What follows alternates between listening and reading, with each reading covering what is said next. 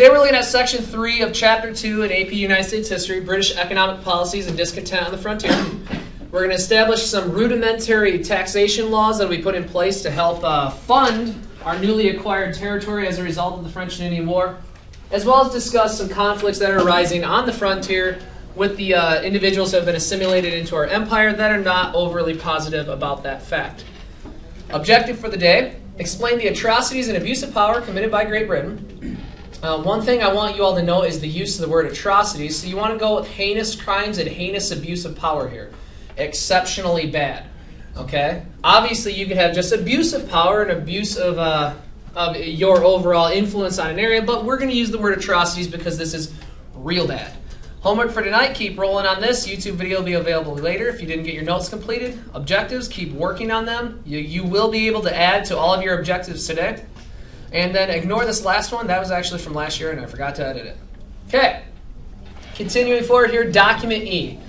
Content, as always, provided. Okay. You can partition this up into a few different things here. One, Ben Franklin is your first point. Okay. He's the source author uh, and the individual who's being put into question. Uh, number two here, you could put the entire testimony before Parliament, or you could just have Parliament if you wish. And then three, the date. And again, this is always provided, so it's up to you if you all want to write this down, but nonetheless, it's there for you. Okay, other items you might want to consider including here would be Great Britain, 1763, America, the actual bracketized source, Colbert, Eyewitness to America, page 54. So again, this is an excerpt from an edited document.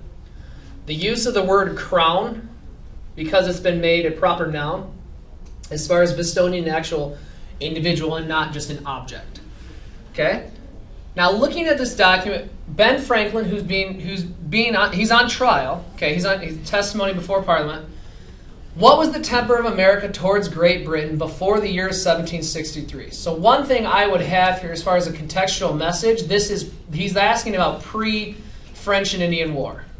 Okay? This testimony is concerning conditions before the French and Indian War. What was life like in the colonies? What were the conditions that were being placed and put upon the colonists? All right. Well, one thing you would want to mention here with that contextual message is the component of salutary neglect. Okay? SN, salutary neglect. That's the time period that's in reference. And like you can see here in um, Franklin's testimony, they submitted willingly to the government of the crown.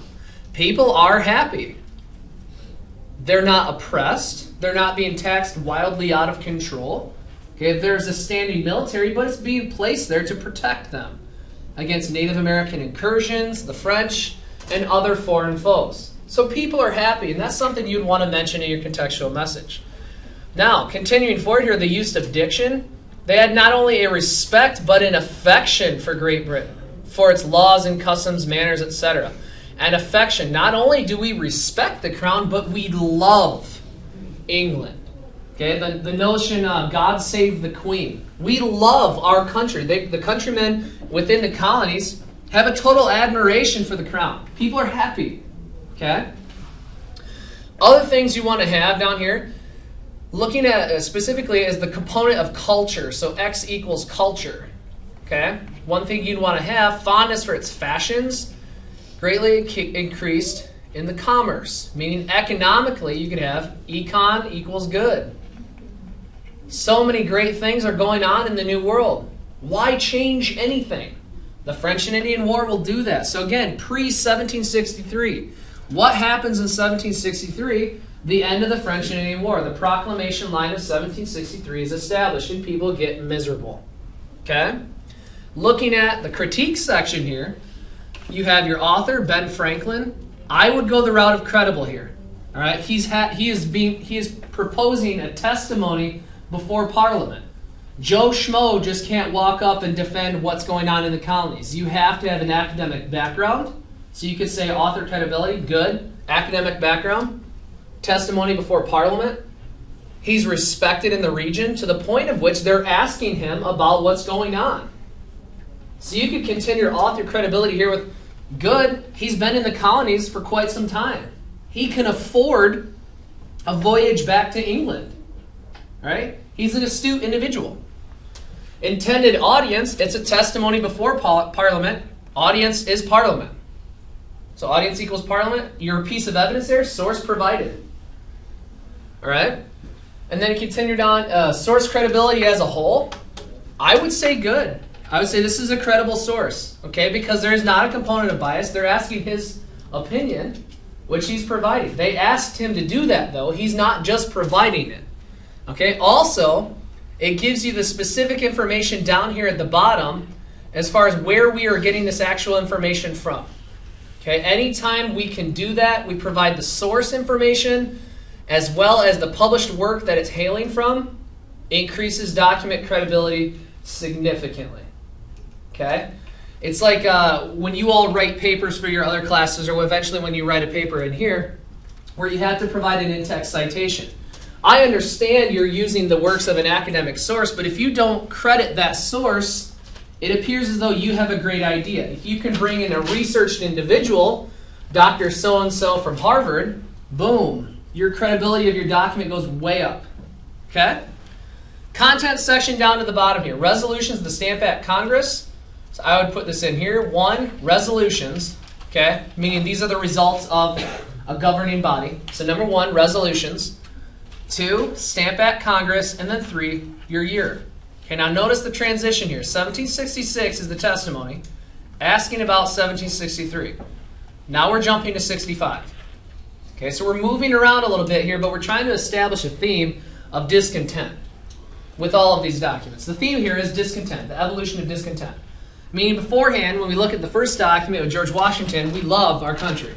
Ben Franklin saying 1763, before then, we love our country.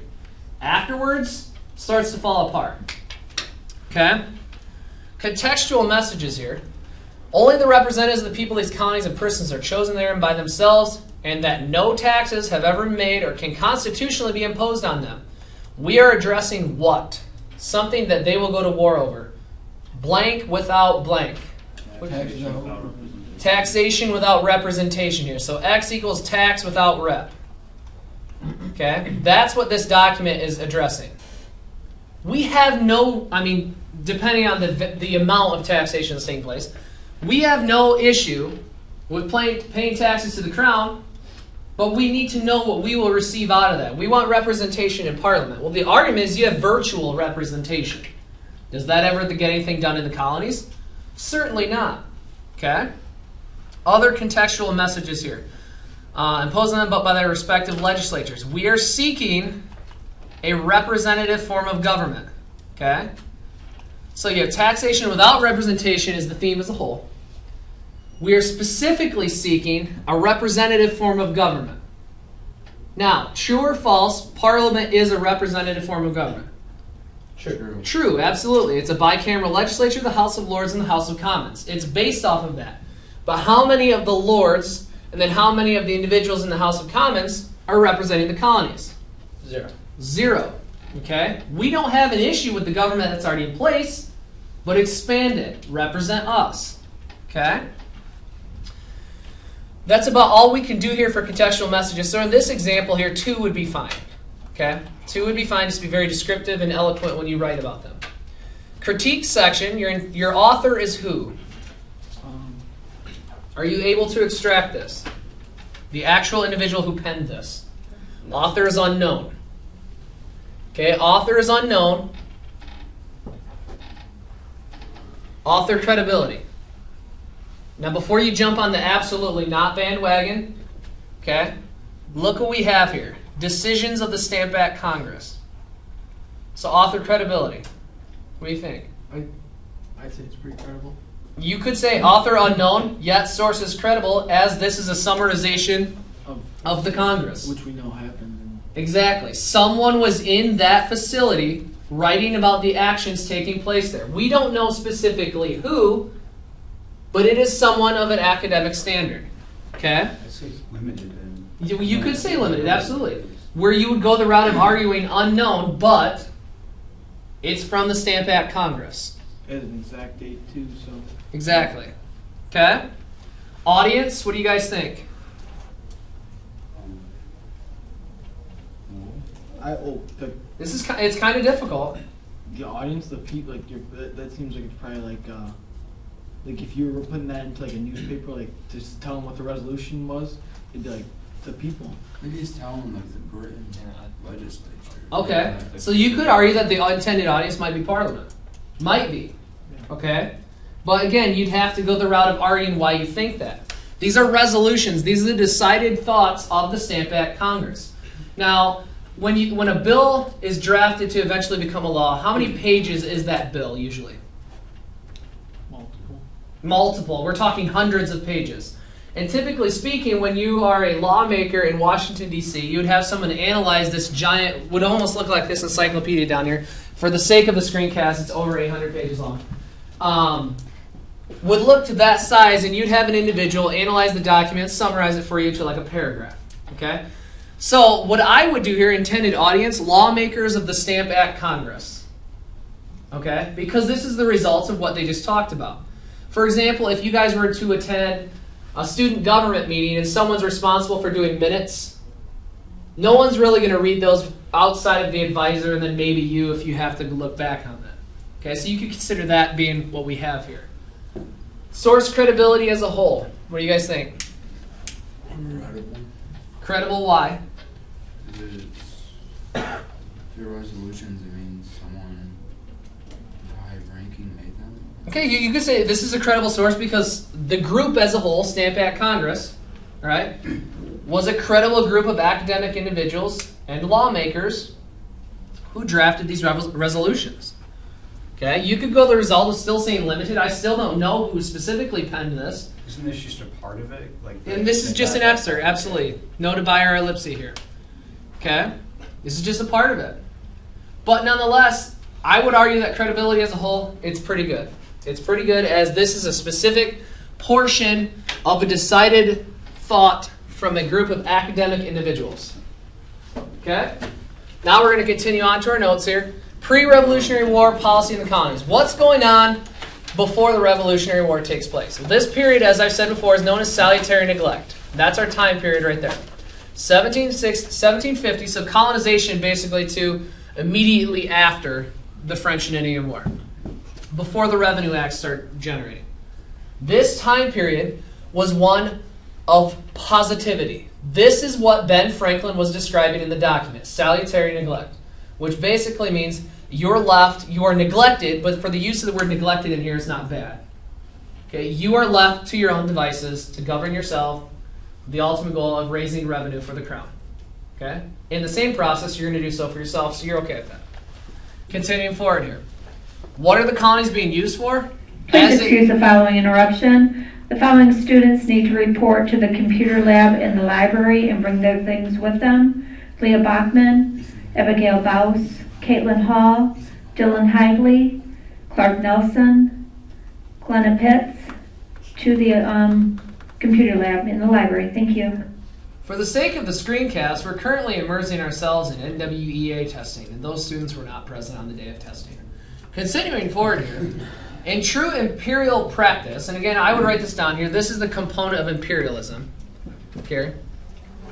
What we have here is the need for expansion of markets and raw materials. The, all reasons you establish a sphere of influence, protectorate, or a colony is to benefit the mother country. Okay? Typically, always economically. British mercantilist policies, policies rarely challenged because they're difficult to implement and infrequently enforced. So basically, you have a set of economic bylaws that are in existence that everyone, for the most part, is ignoring. They're not going to enforce it. Why should I care about it? Okay, I would consider this. Let's flip this economic policy and we'll use cell phones again because a lot of you were raging about that. If a teacher never enforces the cell phone policy, many of you will start bringing cell phones to that classroom, right? Like if I see John Smith in the back of the room with their cell phone out and I'm not going to yell at him or give him a Saturday school, why wouldn't you keep bringing your cell phone back? Okay, it's the same thing. There are laws in place, but if they're never enforced, who cares? That's what we have here with economic laws. Continuing on here, as long as competition from the Americas wasn't significant, meaning it, uh, as far as foreign foes, okay, and Britain wasn't experiencing economic or fiscal crisis, which they're not, there's no, re- no reason to change this. Everything is hunky dory. If the wheel is not broken, don't fix it. Okay? Continuing forward, the navigation laws. Now we're going to start getting to some specifics here. Okay? Strict trade policies designed to promote English shipping and control colonial trade. That's the objective. Okay? In order for Americans to trade certain enumerated items, meaning items of exceptional value, or items that could be exchanged purely as they are for value, with other nations, ships must stop in England first. Is that a bad thing? What do you think here? Here you are. You are a citizen of England, and you are exchanging with citizens of Germany. You leave South Carolina, you have to stop at London first before you can go to Germany. Is that bad? Kind of.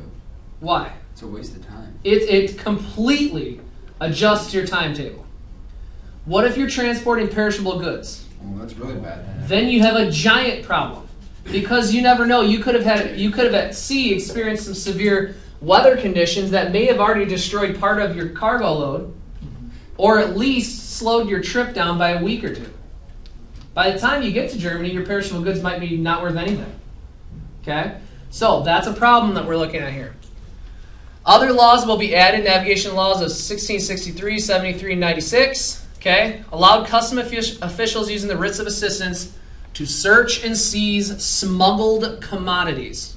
Now, we've worked with the writs of assistance in a document before. Yes, we did. Okay, we're looking at the abuse of power, which will eventually lead to things such as the Quartering Act. Does the English government have the right to do this? No. No. It's smuggled goods. Do they have the right to do this? Well, yes, but they don't know if there's no goods. They're assuming. Okay, so they're they're basing off of the assumption. Let's say let's say you just have to stop at port and they just decide just to board and search your ship. Do they have a right to do that? Yes, there's. Yeah, if, at their port they do. At their port, okay? Well, they're requiring you have to stop at the port. Well, then yes, they'll have to. Oh. So by law, the government is able to, because you have to stop at a port on the United Kingdom, you have to stop there. By law, it's okay that they just intrusively search your entire cargo load and say, these are all smuggled items and now property of the crown. I'm not saying it's okay. Well, you can't do that because then you're just like Ethan says, Assume, like you can see something you want, just say it's smuggled. Exactly. Now we have the abuse of the English Parliament here, okay? Who determines smuggled? Well, the Parliament determines smuggled. So. If it actually is an illegal or hot item, you are at fault. You go to prison. But if it is not, but it is deemed illegal, that could become intrusive. Okay, so you can see how this is going to start evolution, evol- evolving into a negative perspective here. Were they past public execution at this point? Uh, no, we're still there. So they would So- like, Public so- edu- uh, execution, education. Public execution will last for quite some time. Uh, There, uh, there are elements of public execution in Texas through the 1960s Yeah. By firing squad. Uh, and I think it's um, you'd have to check. It's either Missouri or Arkansas. In one of those two states, you have you have a selection. Should you commit a capital offense, of like nine different ways you could go. Really? Yeah, it's it's weird, weird. But nonetheless, that's how they roll down south. Okay, sorry anyone watching the screencast. We are not just dumb Yankees. The wool hat and iron axe. Okay, now we're expanding what we can tax. Intended to subordinate American capital to British capital. What does that mean? To subordinate American capital to British capital. What do you guys think? Well, if you subordinate someone, or you could say my subordinates. Hmm. To subordinate something means what? like, to set to tell how? them to do something like you're like uh, assigning them to do something like Not quite. My subordinates would be subjects lesser than I. Like submit? Okay? So to subordinate someone would be to subject them to poorer conditions or to lessen their value. Okay, so look at it like this. To lessen American capital to British capital, meaning we're going to lower the value of American currency, lower the value of American goods. Okay, stuff coming from the colonies by preventing American businessmen from turning raw materials into finished goods. All right, well, if you look at these items here, with the exception of a, the Hat Act, but that's a symbol of high class fashion, so that will upset some people. Where, what is wool? Where does it come from? sheep. Sheep. Okay, what do you need? What do you have to do to wool to make it valuable, though? weave it. Like you, you don't have to like. No. Clean uh, it. You have to clean it. You have to make sure it's pure enough, and then you turn it eventually into textiles, right? Yeah. Yeah. You could buy just wool, and like uh, there's a Hanes commercial where he has a, a shirt made of cats. Oh, soup. Okay, you could just buy wool and sit in it and be warm. But in order for it to be profitable, you have to take that primary good from your sheep and turn it into textiles to be then changed into drapes, bedding, clothes, etc., etc. What we will do though is I'm going to impose a tax, the good king in parliament, we will impose a tax restricting your ability to do that in the colonies. Meaning, where does that wool have to go to get finished? England. Back to England. Okay, so I'm going to employ all of my people who are staying within England to finish these goods and charge you for shipping it overseas. Exactly, exactly. That just increased your costs and your business exceptionally. Okay, a lot of people will lose out. Iron. What do we got with iron here? Or Or, okay, so basically you could, you know, try to stack and manifest some kind of a structure. But in order to do anything with it, you have to smelt it and then finish it into bars and whatever else that you're making, right? Mm-hmm. Okay? They're not allowing you to do that in the American colonies. well, that's done. And if you are, I'm going to tax your business for being able to do that. Sure, finish it, Mr. Smith's group back there. Finish it in the colonies. 30% of all of your sales go to the crown. That's the dumbest thing ever. Or ship back to England. We'll do it over here for you. Wait, so you so technically you could have iron, ship it over to England. They could smelt it, do all that, and then send it back to you without it being taxed. You would have to pay for all of that shipping, Oh, okay. which would be so high. It would be more. It would be more sensible for you all as a businessman to pay the tax, Yeah. or to try to do it illegally and then go to prison. Because now what we do is we get stuff from China shipped to us, which obviously costs money, and then we uh, Obvi. build it or we produce like we sell it. Exactly, because it costs less to produce over there, and it's cheaper Yeah. to pay the shipping. It's basically the opposite of what's happening back then was Yeah, it's flipped. Absolutely, and that's a great connection. Like two cents an hour. Okay, the Molasses Act prevented the sale of this sweetener, nom nom nom nom, essential for the creation of rum rum rum rum. In the colonies to other parts of the world. Failed because it's not very well enforced. Everyone, I don't say everyone, a lot of people, both lawmakers, law officers, colonists, producers, etc., enjoy the flavor of rum. So this is one of those things that's kind of swept to the side. It's a little bit of ignored because a lot of the individuals, the colonists and lawmakers enjoy rum. Okay. Purchase of sugar from the non-British Caribbean islands. What specific islands are we looking at here? Jamaica. Jamaica. Very good. Okay. Jamaican rum is very highly prized during this time, as well as Puerto Rico and multiple other islands. Okay. Moving forward.